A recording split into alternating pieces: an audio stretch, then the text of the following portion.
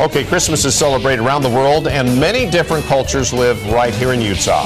Amanda Chamberlain is going to show us some of the unique ways Utahns are ringing in the holidays. And I always like to hear about these different traditions, Amanda. In fact, I am doing Christmas tamales this year. Oh, really? Yeah, That's yeah, cool. I'm going to start that Oh, tradition. You'll have to have me over. anytime, anytime, Amanda. Okay, well, I, I have some more cultural food that you'll just love. You guys are going to have to taste this a little later. But the American tradition, we always have pie at our gatherings.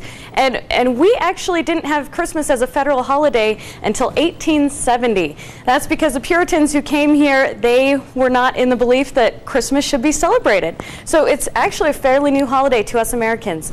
Um, in Utah, though, we have some other major cultural groups here, um, like the Latinos, and we have some beautiful food from uh, Red Iguana. They're a really popular restaurant here. This is a beautiful display of mole sauces over premium chicken.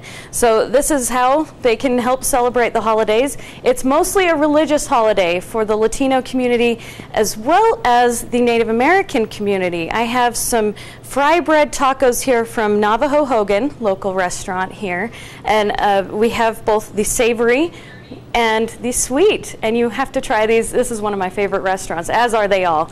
Um, and also, with, with our Asia community here in Utah, uh, we have this represented by the Tibetan or Everest Tibetan restaurant downtown in Salt Lake.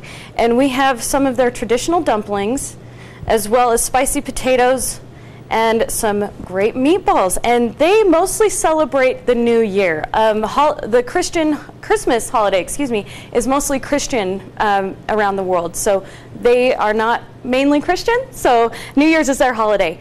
Uh, all of our major ethnicities are represented here in food. So you have to check out these local restaurants yourself. Yeah, good ideas. I Yeah. like taking other cultures' traditions and then kind of implementing in my own. Yeah, some great things to try and eat. Need to see what other people do. Okay, so what kind of pies do you have there? I guess a pecan pie Okay, pecan and blueberry cream. It looks like from Marie Callender's. from Marie Callender. Yeah. You're eyeing wrong those with around, that. aren't you? They're all mine. No, not at all. Do you do any uh, traditions? What do you typically serve? Um, well, we have all kinds of things we do. Like on Christmas Eve, it's usually clam chowder. Okay. Ooh. Seafood is big for a lot of people. Yeah. Yeah. Not from the Christmas Eve. East Coast, Ron. Okay, Amanda. Thank you so much. Thanks, Amanda. You made us hungry. Yeah. Well, we still have a lot coming up on Tuesday.